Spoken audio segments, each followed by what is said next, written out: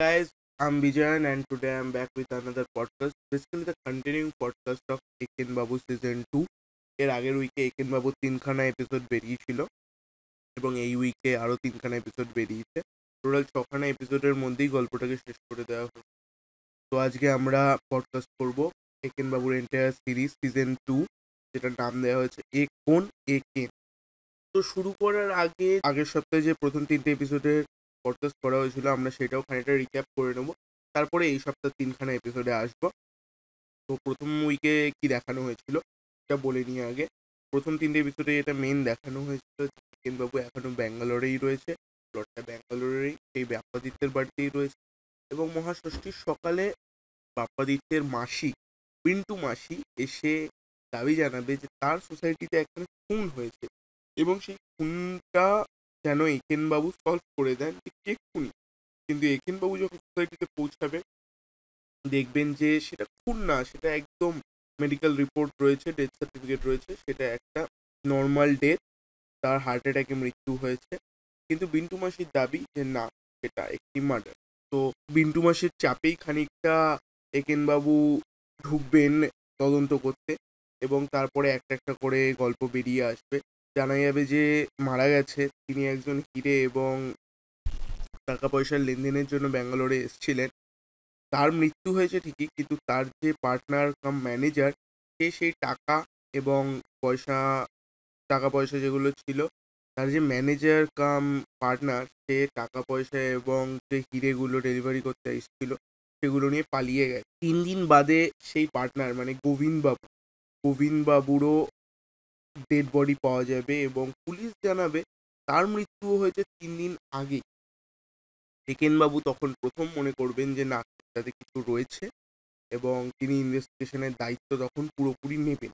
আমরা প্রথম তিনখানা এপিসোডে এর থেকে বেশি সেরকম কিছু দেখিনি। আমরা এবার আসছি, এই সপ্তাহে তিনখানা এপিসোড বেরিয়েছে, যার মধ্যে গল্পটা শেষ করে দেওয়া হয়েছে। আমি চেষ্টা করব কোনো রকম স্পয়লার না দিয়ে আমাদের পডকাস্টটা এন্ড করার। আমি চেষ্টা করব কোনো রকম স্পয়লার ছাড়াই আমাদের পডকাস্টটা এন্ড করার, যাতে আপনাদের কোনো রকমভাবে স্পয়লার অ্যালার্ট দেওয়ার প্রয়োজন না হয় এবং আপনারা গিয়ে নিজে কীভাবে একেনবাবু রহস্য উদ্ঘাটন করছে সেটা দেখতে পারেন এবং আপনাদের ইন্টারেস্টটা থাকে হইচই সিরিজ একেনবাবু দেখার জন্য। তার জন্য আমরা কোনো স্পয়লার দেব না। আমরা খালি ডিসকাস করব গল্পটা কীভাবে এগিয়েছে। তো যখন আর কি একেনবাবু সিরিয়াসলি নিতে শুরু করেন কেসটাকে, তখন তার কাছে প্রধান দুটো সাসপেক্ট হয়ে ওঠে। এক নম্বর সাসপেক্ট সোসাইটিরই একজন মান্যগণ্য বাঙালি যে পুরো দুর্গাপুজো অ্যারেঞ্জ করছে, তিনি হচ্ছেন সুধীর বাবু। এবং সেকেন্ড হচ্ছে যার হিরে ডেলিভারি পাওয়ার কথা ছিল, যে অলরেডি পঞ্চাশ লাখ টাকা দিয়েছে, কিন্তু সে এখনও হিরে পায়নি। তার কাছে যথেষ্ট মোটিভ রয়েছে। তার নাম হচ্ছে সুমিত সাক্সেনা। তো এই দুজনকে সাসপেক্ট হিসেবে প্রধানত নেয়। এর বাইরে কাউকে ভাবছিলেন না। এর মধ্যে তিনি ডাক্তারের কাছে যান, যে ডাক্তার ডেথ সার্টিফিকেট দিয়েছে, সে ঠিক দিয়েছে কিনা, সে কীরকম লোক। এবং বিভিন্ন জায়গা থেকে বিভিন্ন ইনভেস্টিগেশন করেন, পুলিশের কাছে যান, পুলিশের বেশ কিছু হেল্প চান, পুলিশ তাকে বেশ কিছু হেল্প করে। খাদ্যরসিক দেখানো হয়েছে একেনবাবুকে তিনি যেখানে সেখানে খেতে বসে পড়ছেন। তিনি পাস্তা অর্ডার করে তার পছন্দ হয়নি বলে অন্য থালা থেকে খেয়ে নিচ্ছেন। বেশ একটা মজার গল্প লেগেছে, যার মধ্যে শুধু সিরিয়াসনেস নেই, একটা ডিটেকটিভ কত ফানি হয়ে উঠতে পারে সেটাই দেখানো হয়েছে।